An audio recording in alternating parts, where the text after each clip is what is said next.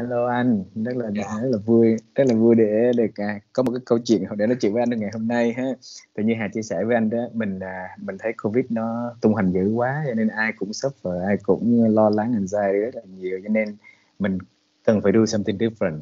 Thì Hà mới approach với anh để mà nói là ok, let's uh, um, interview anh cái success story của anh trong công việc rồi những cái philosophy của anh, insight gì mà anh share được với người khác thì à, thì mình dùng cái câu chuyện đó để mình bơm cái energy lên mình tạo những cái động lực mới cho người khác. À, trong cái thời điểm hiện tại thì em cảm ơn à, à, hoàng tử bạch mã rất là nhiều đã, đã agree trong vài nốt nhạc joining cái cái discussion ngày hôm nay nha. Dạ, ok. chào Hà. dạ dạ hello anh. Dạ. Thì à, à, trước tiên thì em nghĩ là audience họ có thể thích là được biết về anh thì anh có thể chia sẻ cho mọi người biết là à, anh là ai rồi anh cái công việc của anh là gì được không? Ừ. À, mình tên là Nguyễn Ngọc Thụy ha. Thì Ừ. cái nickname của mình là Bạch Mã Hoàng Tử thì hiện nay công việc của mình là đang làm về uh, test của một cái bộ phận marketing trong công ty về ờ, bảo hiểm. Thì Ừ. ờ, hoạt động của mình thì chủ yếu là làm về các hoạt động truyền thông và quản lý thương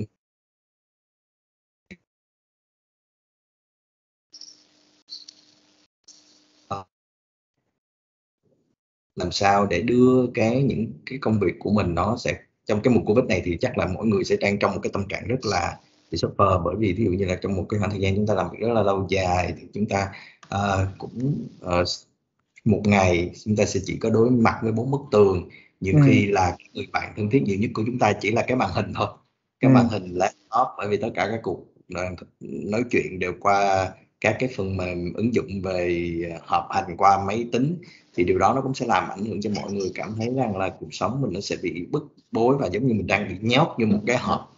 Thì rất là vui và khi gặp được Hà và có thể chia sẻ được cái thông điệp này đến với mọi người và có thể rằng uh, nó nó nó cũng chẳng phải là một cái gì to tát bởi vì đó cũng chỉ là cách để mình có thể lan tỏa được cái tinh thần uh, trong cái cuộc sống này càng càng vui vẻ sinh động hơn.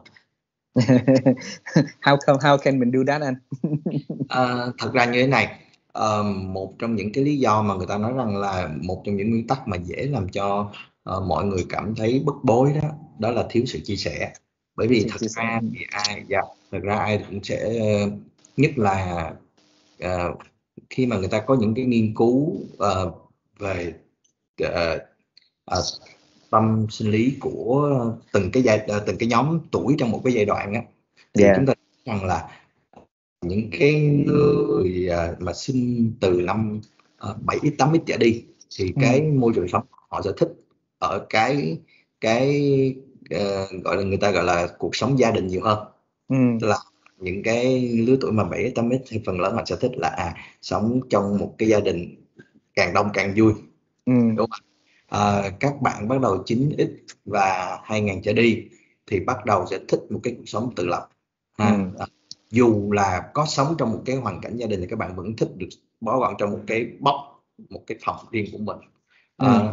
thực ra nó có hai yếu tố là bản thân là gì social life của các bạn của nhóm này rất nhiều Ừ. các bạn spend thời gian ở ngoài khác Ừ. với các bạn mà 7 8 x thì thích spend thời gian của mình ở gia đình nhiều hơn Ừ. còn 9 đến 2000 thì phần lớn các bạn sẽ spend thời gian của mình ở ngoài do Ừ. vậy mà trở về gia đình thì các bạn lại sẽ tự đóng gói mình vô trong cái box Ừ. và thích được gọi là à, sống một cuộc sống người ta dùng là có một cuộc sống là cho mình và chính mình thường thường hay nói như vậy thì Ừ. điều đó sẽ nó sẽ có hai cái gì cũng vậy trong cuộc sống nó sẽ có hai mặt nếu chúng ta nhìn nhận vấn đề ở hai mặt khác nhau thì chúng ta sẽ thấy rằng ờ, cuộc sống lúc nào nó cũng sẽ có hai mặt ngay cả Ừ. bàn tay của mình cũng có hai mặt đúng không ạ Yeah. Ờ, đó cái gì chúng ta cũng sẽ thấy hai mặt nó và tùy theo cái cách chúng ta nhìn ở hai mặt nó như thế nào Ừ. Ờ, mặt đen hay mặt trắng nó đều Ừ. có tốt và cái xấu của nó riêng Ừ. thì như vậy chúng ta thấy rằng là khi chúng ta sống trong một cái môi trường mà chúng ta bị mà bức bối và chúng ta tự chúng ta bó gọn vô thì chúng ta Ừ. thiếu sự chia sẻ Ừ. Thiếu sự chia sẻ. là khi mà con người và thiếu sự chia sẻ thì sẽ là Ừ. một trong những yếu tố mang lại cái việc là làm cho bạn tự làm bản thân mình bị stress bị stress đúng không Ừ. do vậy Yeah. thì nó là ờ, thứ nhất chúng ta cần có sự chia sẻ Ừ. chia sẻ ở đây là gì ạ chúng ta ờ, à, nếu trong trường hợp mà chúng ta không có điều kiện gặp bạn bè ở ngoài ừ. thì hay những cái phần mềm ứng dụng có thể giúp cho bạn gặp được bạn bè nhưng ừ. mà chữ chia sẻ đó nó sẽ nằm ở vấn đề là đừng sử dụng nó như là một cái ví dụ như những cái cái cái phần mềm mà giao tiếp trên internet chẳng hạn thì chúng ta ừ. nên bung nó ra ngoài cái khuôn khổ nó không phải chỉ để sử dụng trong các cuộc họp các ừ. mà hãy ừ. dùng nó như là một cái để bạn có thể kết nối và chia sẻ những cái vấn đề ngoài cái chuyện rằng uh, công việc hôm nay như thế nào làm việc như gì những cái ừ. project, project đang diễn ra như thế nào chúng ta hãy ừ. dành cho nhau những cái chia sẻ về cuộc sống về cảm xúc về ừ. um, những gì đang diễn ra ngoài xã hội à. thì, uh, đó thì đó là cái mà thủy nghĩ rằng là sẽ giúp cho mọi người có thể giảm được cái cái bước bước, bước đầu tiên là giảm được cái cái sự uh, stress trong trong mình trong cái khoảng thời gian này đúng yeah. không ạ rồi điều thứ hai là có một cái nghĩ rằng là một thì có từng nghe một cái câu rằng là nếu mọi thứ bạn nghĩ ở góc độ positive thì ừ. những cái gì những cái gì tốt đẹp sẽ đến với bạn ừ. thì thường thì chúng ta hay bị uh, tâm lý của chúng ta hay bị uh, than thân trách phận ừ.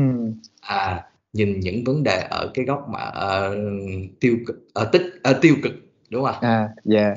đề ở góc độ tiêu cực và hay claim hay than phiền người khác ừ. trong khi nếu mà chúng ta nhìn nó ở một giống như nói cuộc sống mà hai mặt mà vấn đề yeah. nào hai mặt của nó thì nếu mà chúng ta uh, thay vì chúng ta than thân chết phận thì chúng ta hãy tự làm cho chúng ta thoát khỏi cái cái vấn đề mà chúng ta đang gặp ừ. uh, nếu ta hay nhìn nhận ở một vấn đề nào nó hơi bị tiêu cực thì bạn thử nhìn nó ở một góc độ khác tích cực thì ừ.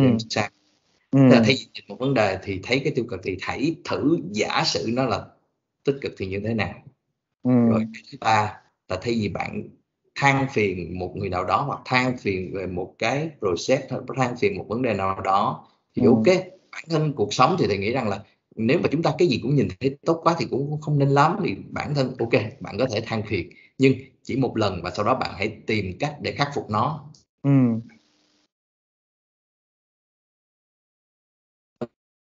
Năng lực của con người là để giải quyết vấn đề chứ không phải là năng lực của con người là chỉ nhìn nhận vấn đề đó thôi. Đó là có một quan điểm có thể để cho cuộc sống và mọi người sẽ cảm thấy nó nhẹ nhàng hơn. Yeah. uh, và một cái câu mà thiện uh, rất là thích đó là life is simple. Life is simple. ừ. yeah. uh, cuộc sống thì rất là đơn nếu chúng ta cảm nhận nó đơn giản thì mọi thứ bạn sẽ cảm thấy đơn giản. À, sáng nay à, sáng nay hà có interview một anh à, à, anh tên là à, Văn Lợi ảnh là à, CEO của một công ty tên là Adama thì à, anh cũng nói đó là cái philosophy in life của anh là having life as simple. Tức là cái simplicity nó make mình sẽ enjoy life mình enjoy cái life thì mình sẽ enjoy cái work mình enjoy work thì mình sẽ là do the best out of cái work của mình đấy thì à, là thanks anh for sharing cái cái philosophy life is simple ha yeah. nhưng mà simple in definition của một người á nó sẽ khác với lại cái definition simple của người khác ví dụ như bây giờ mình ăn khoai mình thấy nó cũng ngon nhưng mà người khác thấy là phải ăn ở nhà hàng thì nó mới yeah. ngon dạng dạng như vậy cái nó standard nó khác nhau đúng không yeah. Ờ, thì, thì chỉ thấy là trong cái cái dịch này là chúng ta hay bị có những vấn đề ví dụ như các bạn tôi thấy rằng là uh, symbol đó thì là gì? À uh, cuộc sống thì nó sẽ có những cái lúc mà chúng ta gặp vấn đề này vấn đề kia thì khi nhiều khi mà bạn cảm thấy rằng là à uh, bạn không bây giờ với cái khó khăn này chúng ta nấu một cái món ăn ví dụ như nấu một cái món ừ. ăn nó cần để nó ngon nó cần phải có A B C D E F các cái thành phần A B C D bây giờ lỡ nó thiếu một cái thành phần thì như thế nào thì ok. Bản thân nó cũng chẳng có có vấn đề gì nếu chúng ta cứ thiếu một thành phần thì cứ coi như món ăn nó vẫn ngon như thường gọi là, gọi là phiên phiến một tí cho nó dễ sống vâng yeah. yeah. Mm. yeah. mà hà lúc bác lại cái profile của anh á trên cái cái cái career path của anh có những cái cái cái journey nó rất là interesting ví dụ như là anh đến từ uh, một cái company uh, WBB đúng không and then anh qua một cái ngành của hoàn toàn khác rồi đến bây giờ đi qua một cái ngành cũng hoàn toàn khác đó thì uh, đối với lại cái đối, đối với lại cái generation như Hà với anh đi Hà thì cảm giác cái cái adaptability của mình ấy, nó nó nó thường thường nó sẽ less cái skill set nó hơn những cái generation mà mà mà khác thì cái quá trình mà anh evolve evolve trong cái cái change như vậy á nó có stress không? nó có nếu những cái gì anh có thể share là anh cảm giác là nó nó enjoyful share không? Ờ, bản thân thì nó có hai vấn đề đưa đến cái cái ờ, cái công việc khi mà trong cái con đường sự nghiệp đó, thì nghĩ rằng cái vấn hai vấn đề là ừ. bản thân đúng là thật ra mình đã có rất nhiều thay đổi đầu tiên ví dụ như mình làm ở showbiz sau đó ừ. mình đổi qua làm về uh, thời trang ừ. sản xuất quần áo sau đó mình đổi ừ. qua làm quảng cáo ừ. sau đó uh, đổi qua làm uh, uh, sản phẩm tiêu dùng nhưng mà lại là sản phẩm uh, các thức uống có cồn ừ. và bây qua làm bảo hiểm thì thật ra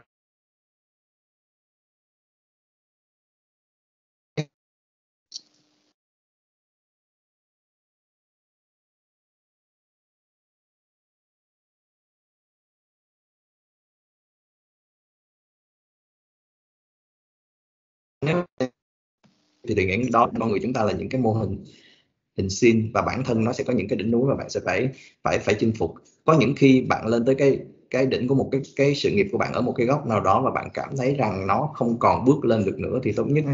một trong những cách tốt nhất là chúng ta nên chấp nhận đi xuống để chúng ta lại lên tiếp còn à. hơn là chúng ờ, đứng ở trên cái đỉnh đó rồi chúng ta cứ dậm chân tại chỗ ừ anh ờ, cái đoạn, đoạn đoạn đoạn đầu của anh nói nó bị nó bị missing một chút tức là từ là lúc anh đi qua đủ có cồn rồi xong mới qua bảo hiểm thì cái đoạn sau nó bị nó bị lag một chút á à, thì à. anh có thể share lại cái đoạn đó được không à thì uh, uh, nếu như phần lớn nếu mà mình nhìn cái góc độ ở góc độ hơi negative của ừ. vấn đề người ừ. ngoài nhìn vào góc độ negative thì sẽ thấy rằng anh này tại sao uh, không giữ cái giống như khi mà làm về business thì người ta hay có câu là bạn luôn luôn phải giữ một cái gọi là cái mặt mạnh của mình và phát triển cái mặt mạnh đó đúng không ạ? Ừ, ừ, ừ. À tại sao bạn không tiếp tục nó để bạn có thể phát triển nhiều hơn ở trên cái góc độ đó nhưng mà thật ra nếu mà chúng ta nhìn ở góc độ một một góc độ khác của vấn đề thì chúng ta thấy rằng ở mỗi cái giai đoạn nó đều có những cái đỉnh và trong cuộc sống chúng ta sẽ không bao giờ là một đường thẳng tắp ừ. và nó phải luôn luôn là một đường xin và ừ. cái đó là một cái nguyên tắc có lên ừ. có xuống đúng không ạ à? ừ. à, bản thân khi chúng ta phải biết rằng khi nào chúng ta đang ở trên cái đỉnh và chúng ta cần phải xuống để chúng ta lên một cái đỉnh khác ừ. chúng ta sẽ bị một tình trạng chúng ta sẽ đứng ở một nơi và chúng ta bị chơi vơi ở cái điểm đó thì ừ. bản thân cái tại sao mà các cái công việc có thể nó không có liên với nhau ừ. thật nhìn ở góc độ ngoài thì không liên với nhau nhưng mà bản thân đó là những cái kinh nghiệm để mình có thể trang trải để mình tạo nó cái liên và cái thứ hai ừ. là gì là bạn có trải nghiệm bạn tự đặt mình vào một cái môi trường mới thì bạn sẽ có nhiều cái trải nghiệm mới và bạn hiểu nó nhiều hơn. Ừ. I see. À, đó là cái mà tôi nghĩ rằng là tôi rất là may mắn là được uh, tiếp xúc với nhiều cái góc độ khác nhau của cái nghề truyền thông ừ. ở cái nhóm khách hàng khác nhau ví dụ như khi hồi xưa mình làm cho mình làm showbiz và làm cho thời trang thì mình sẽ thấy cái bling bling của một cái thế giới nào đó thế khi mà làm về các sản phẩm tiêu dùng quảng cáo làm công ty quảng cáo cho các sản phẩm tiêu dùng thì mình có cái cái môi trường để tiếp cận uh, uh, nhiều đối tượng gọi người ta gọi là mass ừ. hơn mass consumer hơn uh, gặp được uh, những người mà mình sẽ nghĩ rằng là không bao giờ mình tiếp xúc được ví dụ như bà mẹ bỉm sữa à, như vậy đúng không ạ uh, yeah.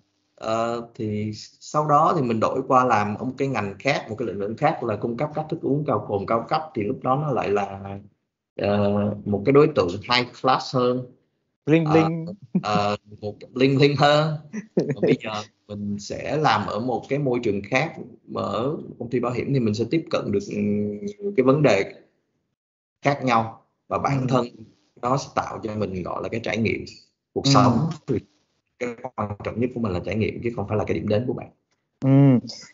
như vậy thì anh đối với lại những cái bạn trẻ mà đang cái em cái career đó và họ có họ à, và và để họ có những sự trải nghiệm đó thì họ phải cần có những cái skill set nhất định. Những cái uh, những à, thì anh nghĩ là những cái skill set nào giúp cho họ họ có thể uh, resilient để có thể continue. Thì uh, đó có những cái skill set nào anh nghĩ uh, thì nghĩ là đây họ nên develop themselves không? À, ờ, thì nghĩ rằng đó là đơn giản như thế này. Thực ra thì bất kỳ là một công việc nào thì một cái chữ mà bạn luôn phải nhớ là chữ passion bạn thực sự phải ừ. đam mê nó đã bởi vì ừ. đúng khi đi làm một công việc nào đó cơm áo gạo tiền là yếu ừ. tố quan trọng nhất để bạn chọn ừ. chúng ta sẽ phải nghĩ tới cái chuyện rằng đi làm không ai thể nào nói rằng là tôi đi làm về passion đúng ừ. ừ. không ai bởi vì ừ. bản thân đi làm về công việc nào đó thì cái chuyện cơm áo gạo tiền hàng ngày lương bổng ừ. của bạn sẽ là cái yếu tố quan trọng ừ. tuy nhiên nó không phải là yếu tố duy nhất để quyết định cái việc chọn lựa công việc của bạn ừ. bởi vì khi mà bạn làm một cái việc mà bạn không thực sự đam mê nó bạn không yêu mến công việc đó thì bạn chẳng bao giờ bạn làm tốt cả ừ. thì bạn chỉ làm là để bạn bạn sẽ làm như một cái máy là tôi sẽ làm công việc đó vì mỗi tháng tôi nhận được một cái khoản lương ừ. uh, rất là hấp dẫn ừ. mà tôi không hứng thú với công việc đó thì sẽ tới một cái lúc bạn sẽ cảm thấy nhàm chán ừ. thì bản thân ừ. của khi mà mình chọn bất kỳ một công việc hay một nơi làm việc nào đó quan trọng nhất nó phải thể hiện được cái cảm xúc và cái niềm đam mê của mình đã. Ừ. nhưng mà à, thì thì anh thì thấy là là cái passion á, là nhiều người nói về passion, nhưng mà để mà retain cái passion đó thì hà thấy là để mà tìm được cái passion đó, rất là nhiều người bị chật vật tìm á. Thì có thấy vậy không? Ờ, thật ra chật vật ở đây là bản thân có thể là mình à, à, sẽ bị đặt quá nhiều yếu tố trong một cái cái cái cái vấn đề mình mong muốn. Ừ. Ờ, mình nói chuyện vui qua ha. Ví dụ như có nhiều người là than rằng là mình bị ế. Lý do tại à. sao họ ế? À, vì có thể rằng là bạn đang đặt quá nhiều cái yếu tố trên một con người mà bạn mong muốn nó phải là như vậy. Ví dụ như ừ. bạn một à, một cái đối tượng nó phải có A B C D E F và lúc nào bạn cũng yêu cầu nó. Nhưng mà bản thân cuộc sống nếu mà đã có một người chúng ta thấy rằng có một cái câu mà nó tự nhiên sực nhớ rằng một câu rằng trong cuộc sống chúng ta không bao giờ có cái gì gọi là hoàn thiện. Ừ. mỗi người chúng ta chỉ là trên con đường để đi đến tìm sự hoàn thiện cho hoàn chúng thiện. mình à. Bản thân sẽ không có gì gọi là hoàn thiện hoàn hảo cả. Ừ đúng không? Không có gì gọi là hoàn hảo mà mỗi người chúng ta không có gì gọi là hoàn hảo mà mỗi người chúng ta chỉ đang đi trên con đường để tìm đến sự hoàn hảo. ừ. trở thành sự hoàn hảo. À. Ok. À, nãy tại vì uh, cái topic the passion này hà rất là enjoy bởi vì là à, trong trong tất cả những người mà hà discuss trong cái khoảng hai tuần này nói chuyện á thì ừ. cái từ passion là từ come out from everyone luôn đó. thì hà nhìn thấy cái successful individual ai cũng có những cái gọi là họ họ lucky họ đi được cái passion này. Nhưng mà at the same time ở life của hà hà gặp được rất là nhiều cái bạn á. Về hôm nay thích làm sale ngày mai thích làm trade năm sau nữa quay ngược lại thích làm uh, internal vài năm nữa thích làm external á. Thì à, thì anh chỉ chia sẻ cho Hà đó là bởi vì có quá nhiều cái expectation từ bên họ. Cho nên là cuối cùng cái nồi lẩu thập cẩm làm cho họ confused để biết là ok what là họ họ họ cứ ra cái gì họ có thể tạo được cái passion cái gì đúng không dạ yeah, đúng với đơn giản có thể là bạn sẽ tìm được một cái công việc nó rất là thể hiện cái đam mê của bạn ừ. tuy nhiên uh, mức lương sẽ thấp hơn một chút xíu ừ. uh, vị sẽ thấp hơn chút xíu thế là bạn có dám đánh đổi hay không à, dám đánh đổi à, yeah. Dạ. bản thân nhiều người thì, uh, sẽ không dám đánh đổi điều đó ừ. tuy nhiên bản thân từ thực tế cuộc sống thì thì thì uh, đều bắt đầu làm lại công việc của mình từ đầu từ đầu à. Dạ. ví dụ như hồi đó mình làm uh, về thời trang chẳng hạn thì lúc đó mình đang làm uh, giám đốc của một cái công ty thời trang rất là lớn ha ừ. có chục cái cửa hàng trên toàn quốc và vẫn chấp nhận mình sẽ đánh đổi nó để mình đi làm lại từ một nhân viên trợ lý ở công ty quảng cáo để mình học hỏi ừ. về nó yes. ừ. ok bởi vì thực ra cái đó là niềm đam mê thì bạn phải chấp nhận bạn mất đi một chút xíu ừ. từ chuyện là mình làm đang làm CEO của công ty thời trang bạn có thời gian nhiều bạn được uh, thoải mái bạn được quyết định và bạn phải chấp nhận biến đổi của bạn trở thành một nhân viên văn phòng bình thường để bạn đi học cái bạn mong muốn yes ừ. cái đó là sự đánh đổi ừ. cái nào chứ không thể nào bạn mong rằng là cái cái sự đánh đổi của mình luôn luôn đều cái yeah. ừ. last question uh, thì nha tức là anh thủy uh, nếu như mà một người in à, một người ở ngoài đi look at cái cái job của anh á đó, và họ muốn becoming successful ở cái job của anh đi thì anh nghĩ là họ cần phải lên những cái skill gì lên những cái những cái họ cần phải equip họ những cái gì trong cái quá trình họ làm việc à, đầu tiên thì chúng ta sẽ thấy rằng là cuộc sống của chúng ta nó có rất nhiều đa dạng các cái môi trường khác nhau thì ừ. đầu tiên là bạn phải tự đánh giá rằng mình có phù hợp với cái môi trường đó hay không ừ. self evaluate à, mình gặp dạ, mình gặp rất là nhiều bạn trẻ à, ừ. em thích uh, môi trường làm việc của anh lắm em thích công việc của anh lắm uh, nói chung là họ thấy những cái gì thường thì chúng ta chỉ thấy những cái gì đó là hào quang của bên ngoài của công việc ừ. ít ai biết được bên trong để để run được cái cái hào quang đó người ta phải tốn như thế nào ừ. ví dụ bây giờ chúng ta muốn thấy được một cái sân khấu hoành tráng đẹp đẽ thì có ai thấy được công việc của những người uh, đứng sau hội trường đúng không mồ hôi đúng rồi. Nhạc. À, và trước đó mấy ngày những cái người set up cái cái dàn just để gắn những cái đèn ai cũng thấy được cái bóng đèn và mong muốn mình trở thành những cái bóng đèn chứ chưa ai mong muốn rằng mình trở thành cái cái dàn giáo ừ. đúng không ạ cái dàn yeah. giáo đi cái để để gắn cái bóng đèn thì hiếm có người ừ. và ai cũng nghĩ rằng em muốn trở thành cái bóng đèn đó thì, ừ. thì trước khi bạn muốn làm cái bóng đèn thì bạn hãy làm cái dàn giáo đó à ok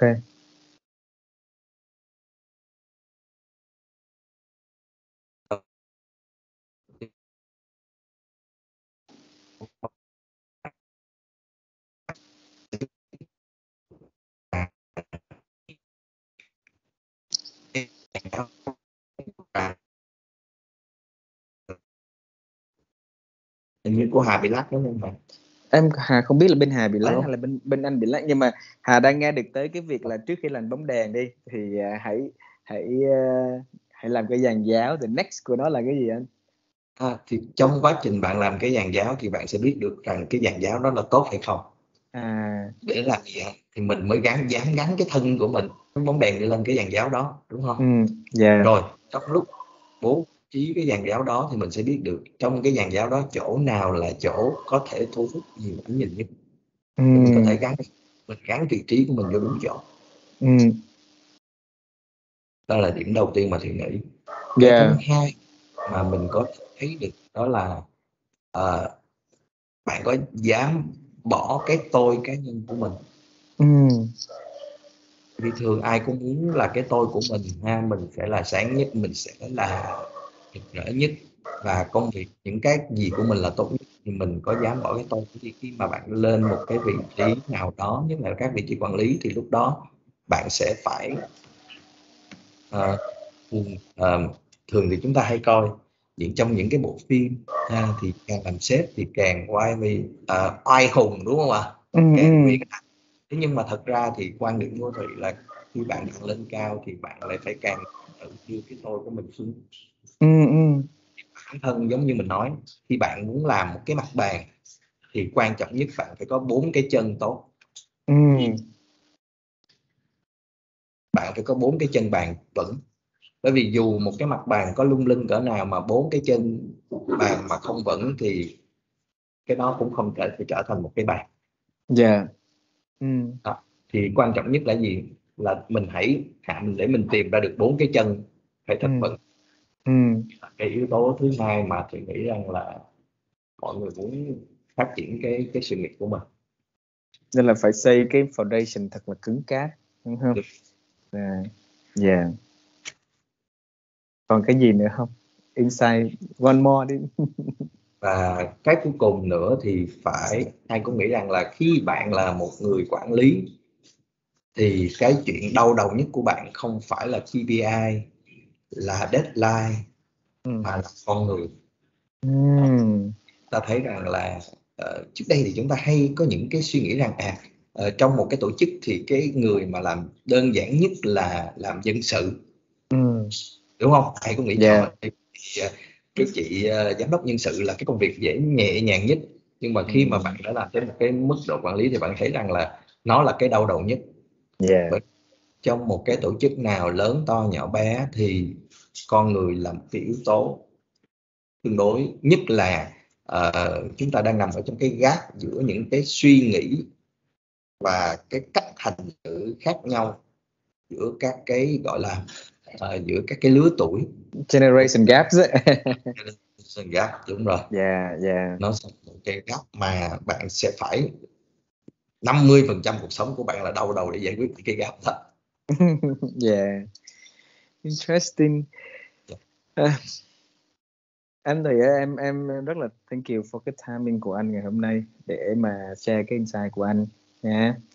Và chị nghe được không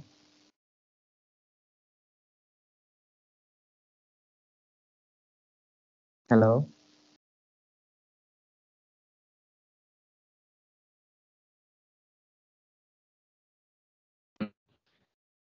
Chị nghe được không? Hello?